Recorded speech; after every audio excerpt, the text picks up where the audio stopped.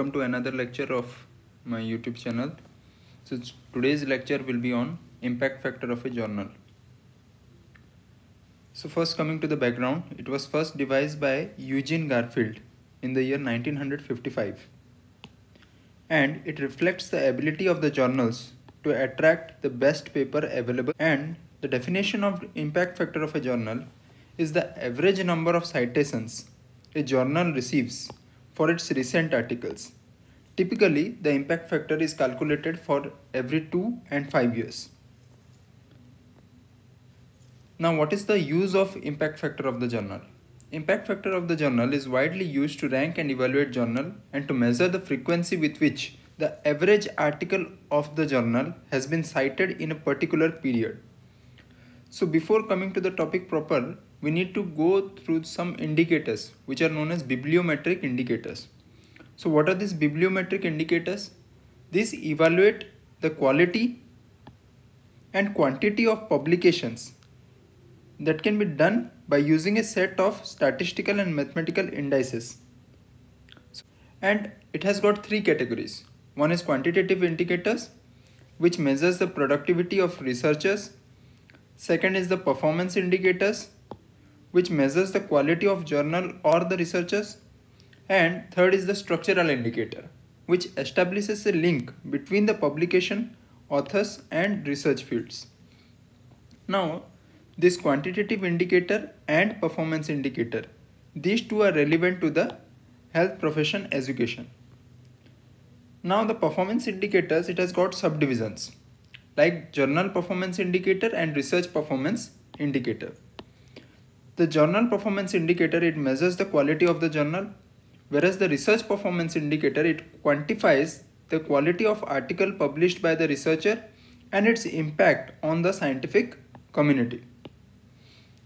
So the journal impact factor, it comes under the journal performance indicator and it is available in Science Citation Index that is SCI, Journal Citation Report that is JCR and on the Web of Knowledge.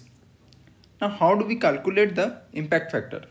Impact factor was previously calculated by Thomson Reuters but now it is being calculated by Clarivate Analytics. Coming to example of the calculation. Impact factor of a journal in 2021 will be equal to A by B where A is equal to number of uh, times article published in the 2019 to 20 were cited by index journal in 2021 that is in short we can say a is the number of citations, whereas B is the total number of citable items like articles and reviews published by the journal in 2019 and 20. So that is the number of publications. So number of citations divided by number of publication gives you the impact factor of a journal in that current year. Now what are the factors which affect the impact factor? First is the subject specialty or the area of journal the journals which are having the subject specialty as pure sciences or are specialty specific, they have a high impact factor. Number of authors. If the number of authors increase, the impact factor of the journal also increases. Now publication types. The reviews have a higher impact factor than original research articles or other articles. The journal size that is the number of articles published per year impacts the IF and correct uses of the words in the abstract and titles that is the proper keywords will give rise to high impact factor. Now coming to what are the limitations of impact factor. Now high impact factor means greater impact of the journal and not necessarily it indicates the quality of particular article. Several factors they have a impact on the impact factor. So impact of the research should be measured using other indicators as well. Now what's a good impact factor of a journal?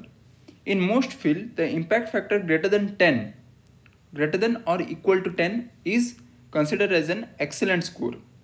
Whereas good score if the impact factor is equal to 3 and above that.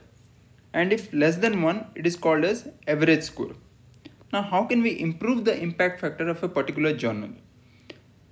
The impact factor can be improved by publishing position papers, methods paper and review articles more. The fees of the journal can be either limited or they may be eliminated. Now choose the special issue topics has to be chosen wisely in order to improve the impact factor. And there has to be revision of the feedback from the authors and avoid unethical methods. Apart from that, the journal can also provide the articles in different formats like HTML or PDF, etc.